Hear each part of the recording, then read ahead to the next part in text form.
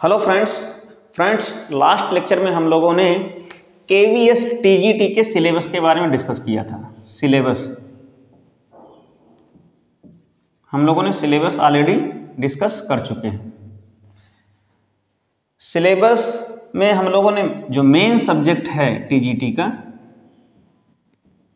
जो main math का syllabus है, उसके बारे में डिस्कस किया था। आज से हम लोग प्रॉपर वे में जो भी टीजीटी मैथमेटिक्स में टॉपिक हैं, उनके बारे में डिस्कस करेंगे। सबसे पहले, आज हम लोग अलजेब्रा में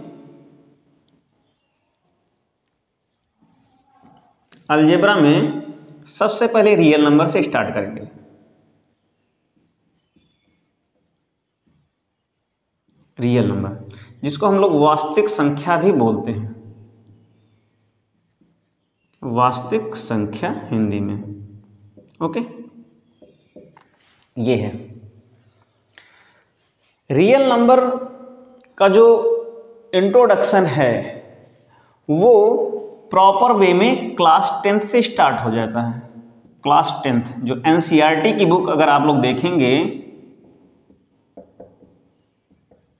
एनसीईआरटी की बुक देखेंगे तो सबसे पहले क्लास टेंथ में यही रियल नंबर ही दिया हुआ है। उसी से ही स्टार्टिंग की गई है। तो इसका मतलब ये नहीं है कि क्लास टेंथ से पहले सिक्स, सेवन एट्थ नाइन्थ तक हम लोग रियल नंबर के बारे में नहीं जानते थे। जानते थे। जितनी हमें ज़रूरत होती थी, उसी हिसाब से हम इसको यूज़ करते थे। हम प्राकृतिक संख्याओं के बारे में भी जानते थे। हम लोग होल नंबर दैट मीन्स संपूर्ण संख्या के बारे में भी जानते थे। हम लोग इंटीजर्स के बारे में भी जानते थे। लेकिन प्रॉपर वे में इसमें है क्या, इसकी डेप्थ क्या है, हम लोगों ने क्लास टेंथ से स्टार्ट किया। तो अब बात यहाँ पे ये आती है रियल नंबर है क्या चीज़। तो रियल नंबर क्या होती है? रेशनल नंबर्स और इरेशनल नंबर्स उसका एक कलेक्शन होती है, उसका एक कॉम्बिनेशन होती है, उसका एक यूनियन होती है।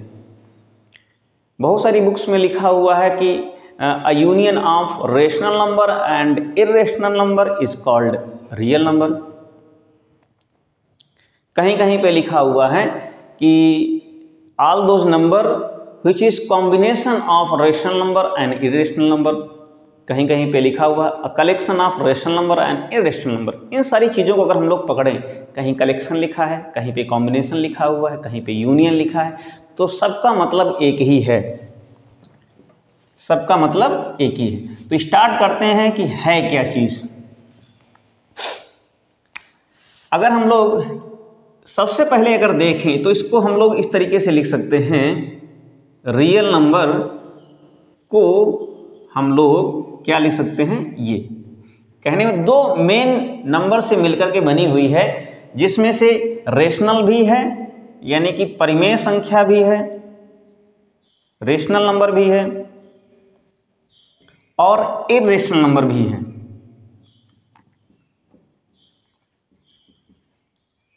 इरेशनल नंबर अब यहाँ से अगर रेशनल को अगर हम लोग देखें रेशनल नंबर तो रेशनल नंबर है क्या चीज़? रेशनल नंबर क्या है?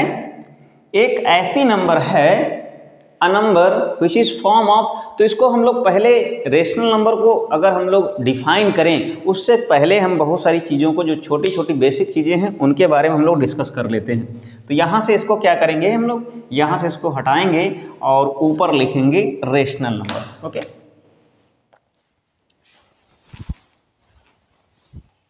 rational number.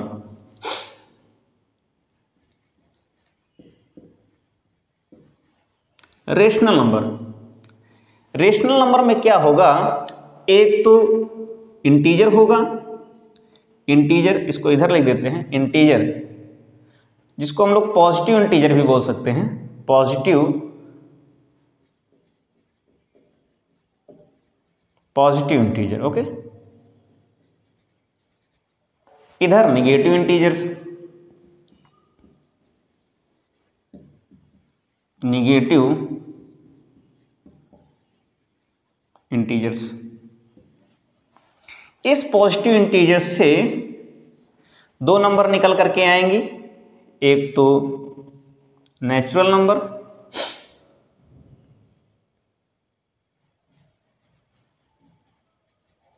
नेचुरल नंबर और एक whole number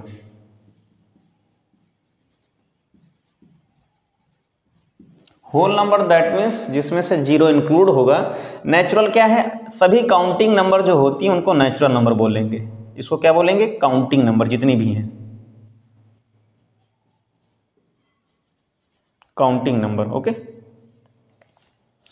इस काउंटिंग नंबर में अगर हम लोग ज़ीरो इंक्लूड कर दें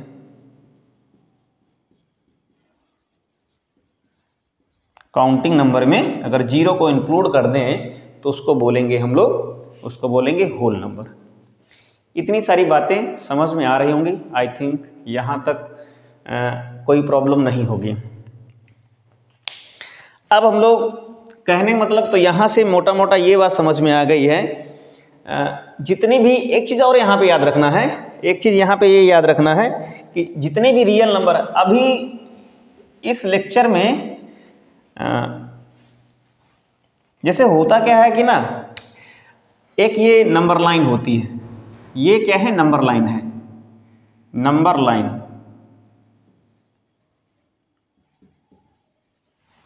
यहाँ पे स्टार्ट एक एक ज़ीरो होता है। कुछ इस साइड में अगर हम लोग देखें तो ये राइट साइड हो गई। राइट साइड ज़ीरो की। ये लेफ़्ट साइड हो गई। राइट साइड में, लेफ़्ट साइड में जितनी भी जितनी भी रियल नंबर्स हैं, उनको प्लॉट किया जा सकता है। इधर भी जितनी भी नंबर्स हैं, उनको प्लॉट किया जा सकता है। तो कहने का मतलब ये है कि चाहे जो भी रियल नंबर हो, चाहे जो भी रियल नंबर हो उसको हम लोग क्या कर सकते हैं रियल लाइन पे प्लॉट कर सकते हैं, उसे हम लोग अरेंज कर सकते हैं, वहाँ पे एग्जिस्ट करा सकते हैं। चाहे जो भी हो, चाहे real number in sense of natural number integers negative integers positive integers whole numbers सभी नंबर्स फिर चाहे इरेशनल नंबर ही क्यों हो तो इरेशनल नंबर को भी हम लोग आगे डिस्कस करेंगे। फ़िलहाल यहाँ पे ये देख लेते हैं। सबसे पहले सबसे पहले अगर हम लोग यहाँ पे बात करते हैं तो यहाँ पे यूक्लिड लीमा की बात करेंगे हम लोग। इस चीज़ को आप लोग नोट डाउन कर लीजिएगा। Euclid Lima. यूक्लिड्स अपोस्ट्रोपियस है लीमा। एक चीज़ और आती है कि लीमा है क्या? तो चीज़ों को इंट्रोड्यूस करते रहेंगे, आप लोग समझते रहेंगे। और जहाँ पे ज़रूरत होगी उसे नोट डाउन करते रहेंगे। एक लीमा होती है और एक होता है थ्योरम होता है। ओके थ्योरम को प्रमेय बोलते हैं, लीमा को उपप्रमेय बोलते हैं। कहने का मतलब अगर कोई मेन कोई रिज़ल्ट है, उसके जो छोटे छोटे टुकड़े होते हैं छोटे छोटे जो रिजल्ट्स होते हैं, उनको बोलते हैं, हम लीमा बोलते हैं। तो लीमा क्या है? यूक्लिड साहब ने एक रिज़ल्ट दिया एक छोटा सा रिज़ल्ट दिया। छोटा तो ऐसे बोल देते हैं क्योंकि स्टेटमेंट उसका बहुत बड़ा नहीं है, लेकिन उसका मीनिंग बहुत बड़ा है। तो मीनिंग को हम लोग यूज़ करेंगे। फ़िलहाल यहाँ पे लीमा क्या है उसको देख लेते हैं। अच्छा यूक्लिड लेमा है और यूक्लिड डिवीज़न लीमा है। इसको थोड़ा सा और सही से लिख देते हैं। Euclid division lemma. Euclid Euclid's division lemma, okay? Division, ये। इसी के बेसिस पे ही हम लोग यूक्लिड डिवीज़न एल्गोरिथम देखेंगे। Euclid division algorithm. Algorithm okay? ये। Euclid division algorithm. है क्या चीज़? यूक्लिड साहब ने ये कहा, आप लोग समझने की कोशिश कीजिएगा, यूक्लिड साहब ने ये कहा, अगर कोई भी दो नेचुरल नंबर या इंटीजर्स अगर उन्होंने ये कहा कि अगर दो कोई भी टू इंटीजर्स टू इंटीजर्स क्या हो? गिवन हो, जैसे ए और बी कह दिया। उन्होंने ये कहा कि दो इंटीजर्स गिवन हो, उसमें से कंडीशन ये है कि A is greater than B इस तरीके से कहा। तो there exist there exist two unique integers Q and R उन्होंने ये कहा कि देयर एग्जिस्ट ये देयर एग्जिस्ट का सिंबल है। There exist two integer Q and R such that such that A is equal to B Q plus R मेरी बात ध्यान समझना बहुत आसानी से समझ में आ जाएगा। एंड यहाँ पे कंडीशन दी हुई है zero is less than R and R is less than B ये। यूक्लिड साहब ने ये कहा कि अगर हमारे पास हमारे पास या कोई भी दो इंटीजर्स अगर गिवन हो, दो पूर्णांक अगर दिए हुए हों तो उनके रिस्पेक्ट में देन देयर एग्जिस्ट अगर गिवन हैं, दो पूर्णांक, दो इंटीजर्स अगर गिवेन हैं, दो integers given two integers A and B कोई भी दो हैं, इस तरीके से हैं कि ए की वैल्यू बी से ज़्यादा है A is greater than B then there exist two unique integers Q and R ये भी क्या है इंटीजर्स ही हैं इस तरीके से एग्जिस्ट करेंगे कि उनकी कंडीशन इस तरीके से होगी कि a is equal to B Q यानी यहाँ का b और q प्लस आर आर की वैल्यू किस तरीके से होगी? R ज़ीरो भी हो सकता है ज़ीरो से बड़ा भी हो सकता है एंड b से छोटा होगा। ये रहा। अब इसका मतलब क्या है? इस लीमा का यूज़ हम लोग अप्लाई करते हैं एचसीएफ निकालने में। दैट मीन्स मासा, जिसको हम लोग महत्तम समापवर्तक कहते हैं एंड हाईएस्ट काउंट फैक्टर बोलते हैं जीसीडी भी बोलते हैं जीसीडी ग्रेटेस्ट कॉमन डिवाइजर बोलते हैं ओके तो इस तरीके से इसका मेन बहुत सारे लोगों को पता ही नहीं चलता कि यूक्लिड डिवीज़न लीमा है क्या। तो यूक्लिड डिवीज़न लीमा क्या है?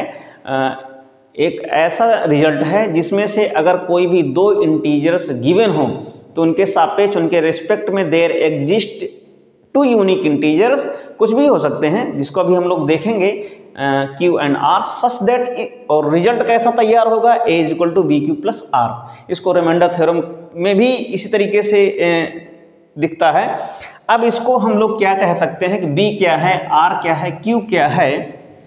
तो यहाँ पे देखते हैं कि अगर हमने यहाँ पे लिखा, हमने क्या लिखा? रिज़ल्ट ये है कि ए रिज़ल्ट कह रहा है कि A is equal to B Q and plus R okay ये ए है यहाँ पे डिवाइडेंड है ए क्या है? डिवाइडेंड है। ये डिवाइडेंड है। बी क्या है? ये बी डिवाइजर है डिवाइजर ये एंड क्यू क्या है? कोशियंट है।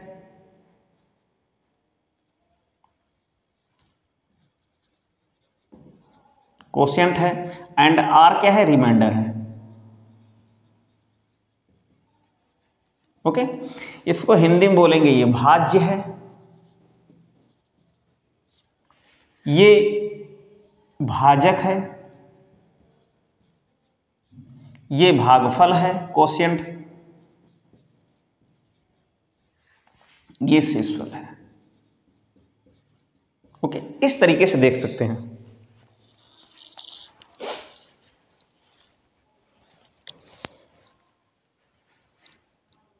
एक भाज्य है, भाजक है, भागफल है, शेषफल है। ये, अब यहाँ पे क्या करते हैं, जब दो संख्याएँ दी हुई हैं, उन दो संख्याओं का अगर हम लोग शेष सॉरी, महत्तम समापर्तक यानी एस निकालते हैं तो इसका हम लोग यूज़ करते हैं। जैसे कि अभी हम लोग अगर ये देखें कि यूक्लिड डिवीज़न एल्गोरिथम का यूज़ कहाँ पे किया जाता है? तो यहाँ पे इसको अगर हम लोग लिख दें यहाँ कि Euclid,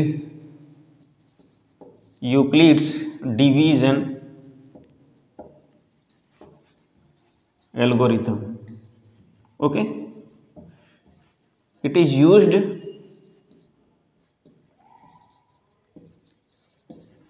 in applications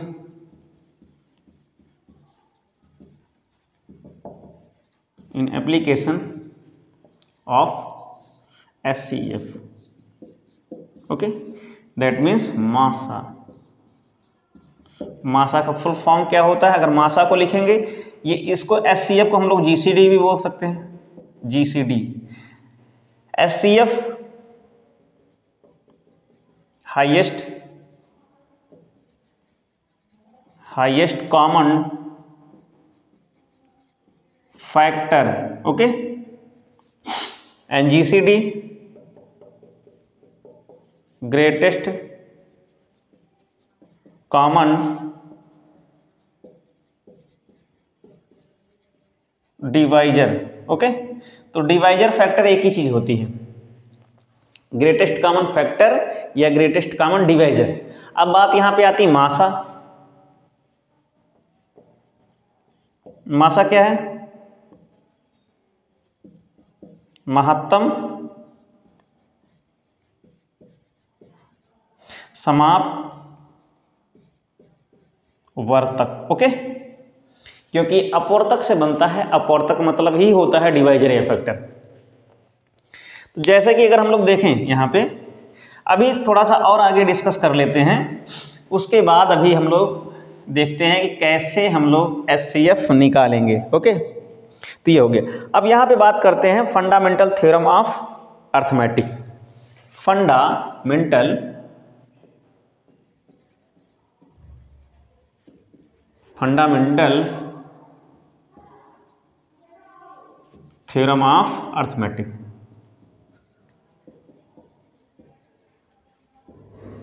जैसे फंडामेंटल थ्योरम ऑफ़ अर्थमेटिक देखते हैं, इसी में ही आता है prime factorisation prime factorisation, okay? सबसे पहले हम लोग प्राइम फैक्टराइजेशन के बारे में बात करते हैं। प्राइम फैक्टराइजेशन का मतलब ये है, क्या है?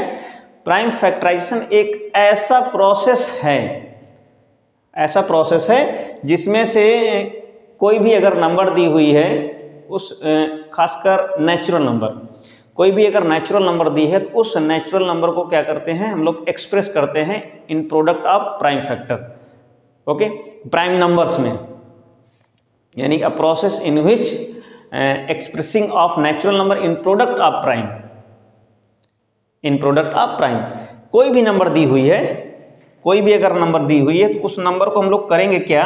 उस नंबर को प्रोडक्ट ऑफ़ प्राइम में लिखेंगे। प्रोडक्ट ऑफ़ प्राइम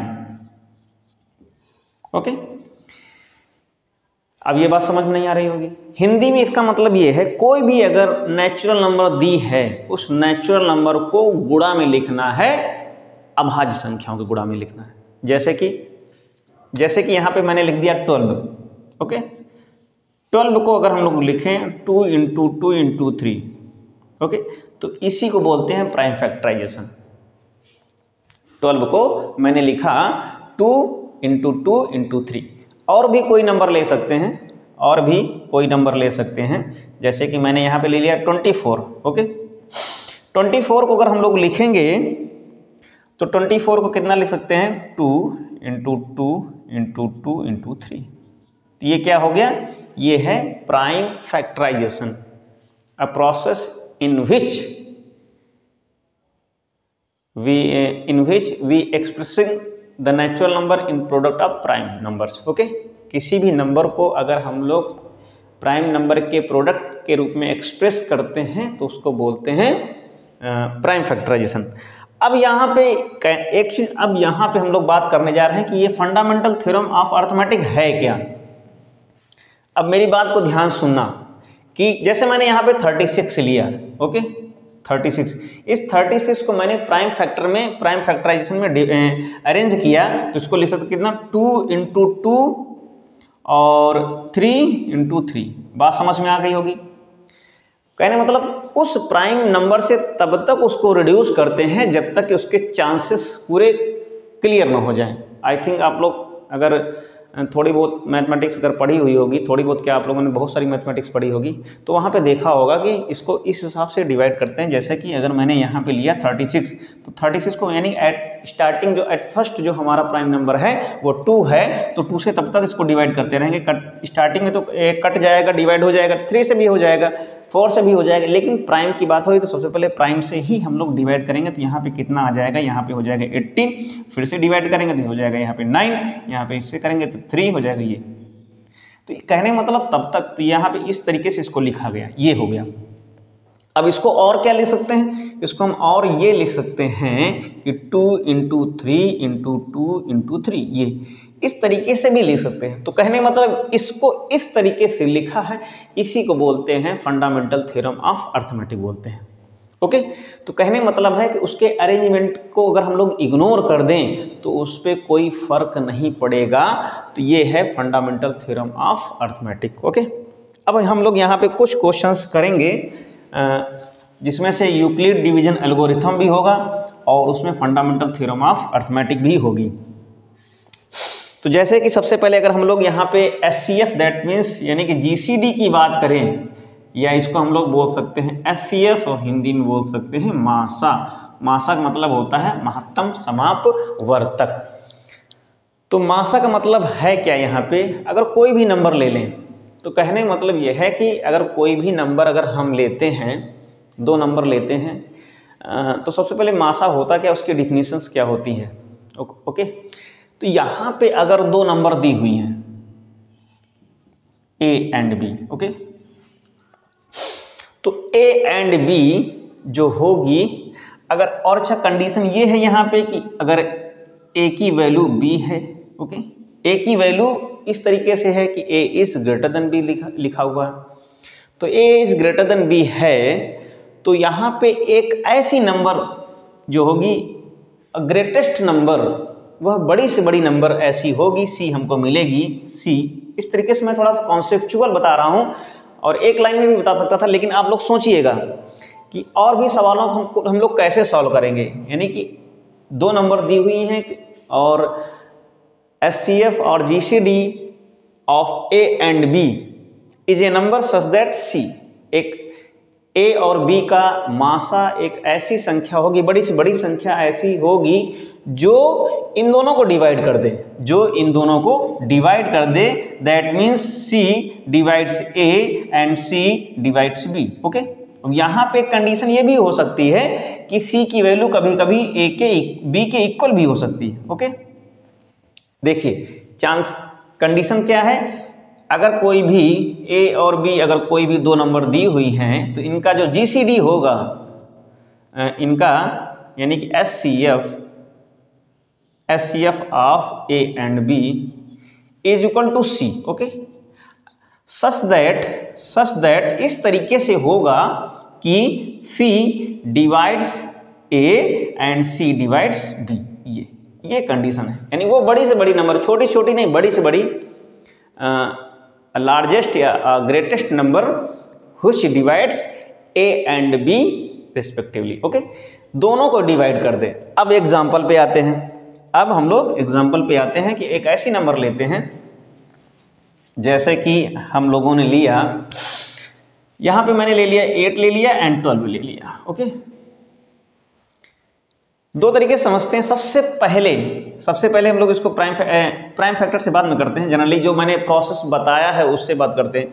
यानी कि एक चीज़ और है, एक चीज़ और है कि अगर हम लोग मासा पढ़ते हैं तो मासा में जो छोटी संख्या है, उसके चांस ज़्यादा होते हैं। छोटी संख्या, उसके चांस ज़्यादा होते हैं कि हो सकता है कभी कभी छोटी संख्या भी हो जाती है। जैसे कि यहाँ पे मैंने लिखा टू एंड फोर तो मासा क्या होगी? टू होगी। जैसे लिखा है टू एंड सिक्स तो मासा क्या होगी? टू होगी। लिखा हुआ थ्री एंड सिक्स तो मासा क्या होगा? थ्री होगी। अगर लिखा हुआ एट एंड सिक्सटीन तो मासा क्या होगा? एट हो जाएगा। लेकिन इसी की जगह पर अगर लिख दिया जाए एट एंड जैसे हमने लिख दिया यहाँ पे एट एंड एट्टीन लिख दिया, तब मासा एट नहीं होगा। अब इससे छोटी संख्या आएँगे। इसके फैक्टर करेंगे। तो इसके फैक्टर जब करेंगे तो कितना हो जाएगा? Two and two and two हो जाएगा। Okay two into two into two हो जाएगा। प्राइम फैक्टर में अगर इसको हम लोग तोड़ेंगे तो यहाँ पे मासा क्या आ जाएगा? दो हो जाएगा। तब क्या करते हैं? इस छोटे के हम लोग फैक्टर करते हैं। छोटे के फैक्टर करेंगे कितना होगा? प्राइम फैक्टर करेंगे तो ये हो जाएगा। अब देखते हैं फोर से तो नहीं होगा तो और शॉर्ट में आ जाते हैं। पहले हमने फोर कवर किया, नहीं हुआ। एट से तो हो ही नहीं रहा था। दो से उठाया तो दो क्या करेगा? इसको भी कट कर देगा, इसको भी कट कर देगा डिवाइड कर देगा। तो जो सी है, वो दोनों को डिवाइड करना चाहिए। तो अब यहाँ पे जैसे कि हम लोगों ने देखा कि अब इसको हम लोग इस तरीके से देखेंगे कि सबसे पहले एट के हम लोग फैक्टर करेंगे prime factor two into two into two अब इसके बाद ट्वेल्व के प्राइम फैक्टर करेंगे two into two into three ये हो जाएगा ओके तो यहाँ से जो दोनों में कॉमन फैक्टर है, वो क्या है? टू इंटू टू इसलिए इन दोनों का जो एस एस सी एफ़ होगा, वो क्या होगा? Two into two that means four और कुछ क्वेश्चन कर लेते हैं, जैसे कि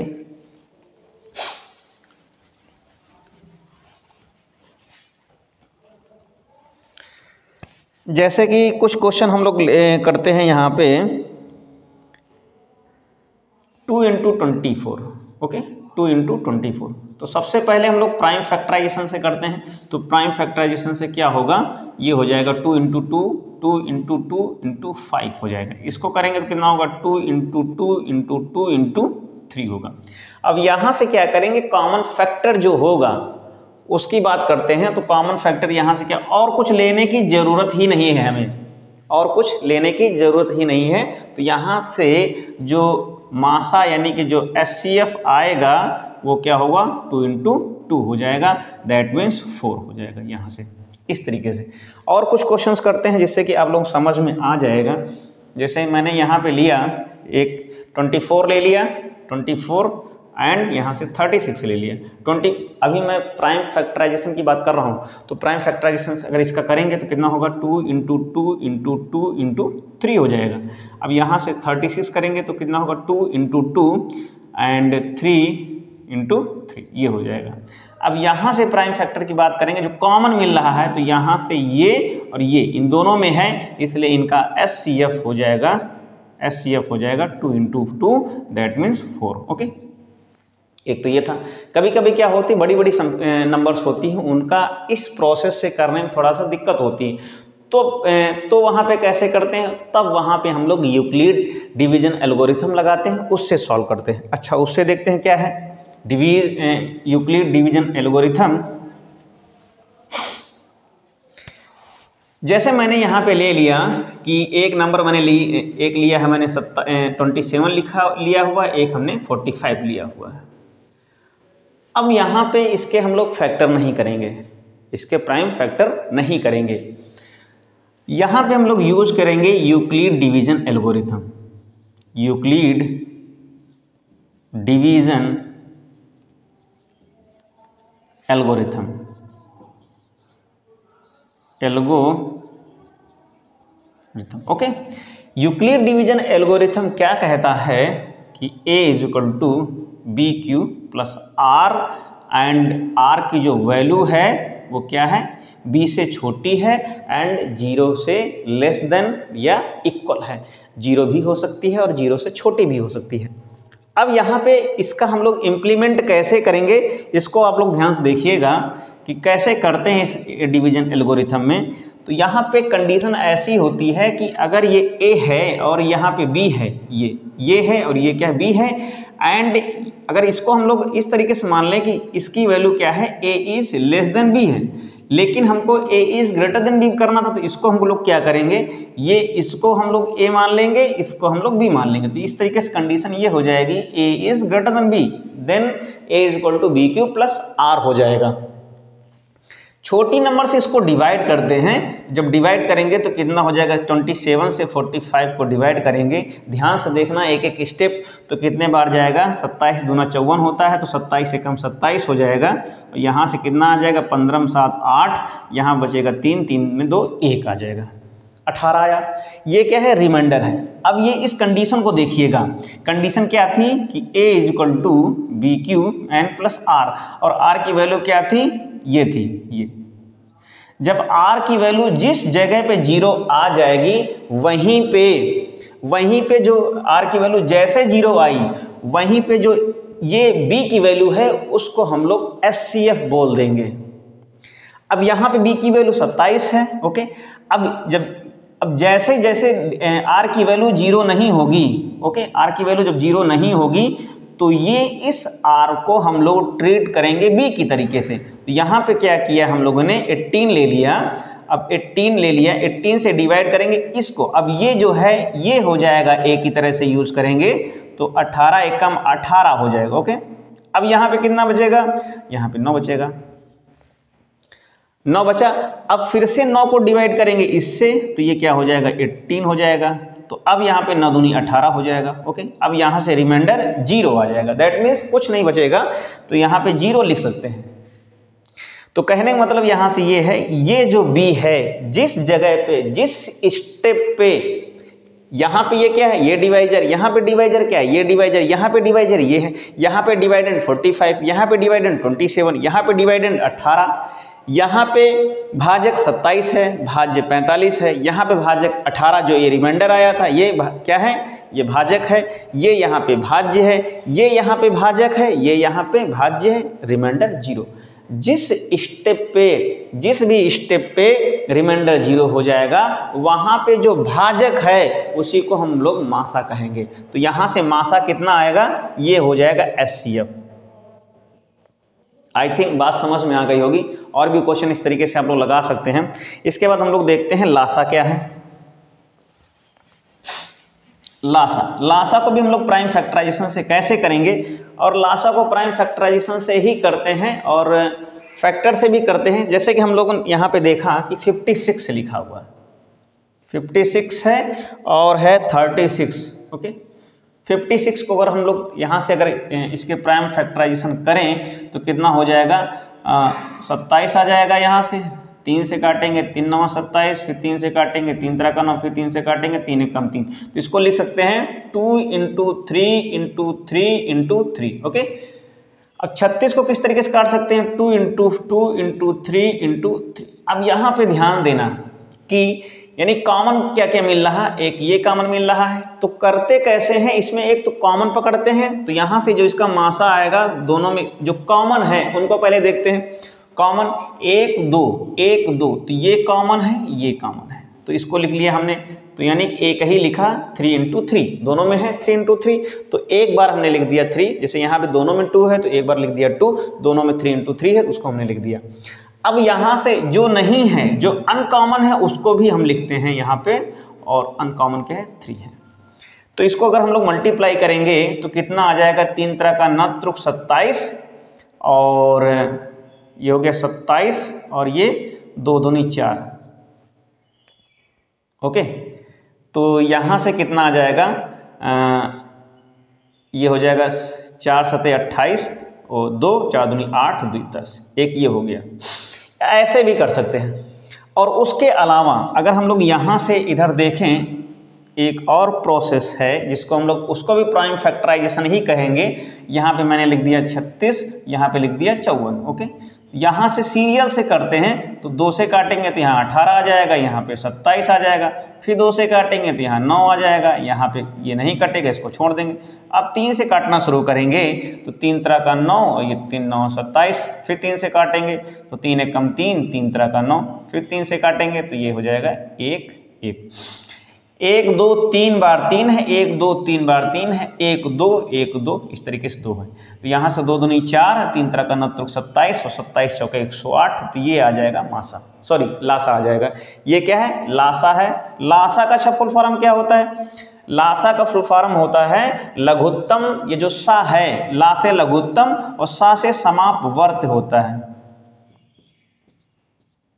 समापवर्त। दोनों में अंतर है। समापवर्तक और समापवर्त में अंतर है। समापवर्त क्या होता है? इसको बोलते हैं कॉमन मल्टीपल ये ये समान अपवर्त से बना हुआ है। इसका मतलब होता है, इसको बोलते हैं common multiple common multiple okay ये कॉमन मल्टीपल है और वो कॉमन फैक्टर होता है। तो मल्टीपल जैसे टू का मल्टीपल टू दो दूनी चार छः आठ, दस, बारह, ये क्या है? मल्टीपल हैं। अगर चार के फैक्टर निकालेंगे तो कितना हो जाएगा? टू कॉमा फोर हो जाएगा। तो आज तक बस इतना ही। हम लोगों ने मेन मेन चीज़ें देख ली रियल नंबर में। नेक्स्ट लेक्चर में हम लोग क्या देखेंगे कि जो इरेशनलिटी है इरेशनल नंबर होते क्या हैं? उनकी डिफिनीशंस उनका नेचर और उनको कैसे प्रूफ करेंगे? कोई भी अगर नंबर दी है तो वो इरेशनल है। रेशनल क्यों नहीं है? इसको भी देखेंगे। तो अगर शाम को अगर अगर हो सकेगा तो शाम को हम लोग लेक्चर करेंगे। तो मिलते हैं नेक्स्ट लेक्चर में। Thank you take care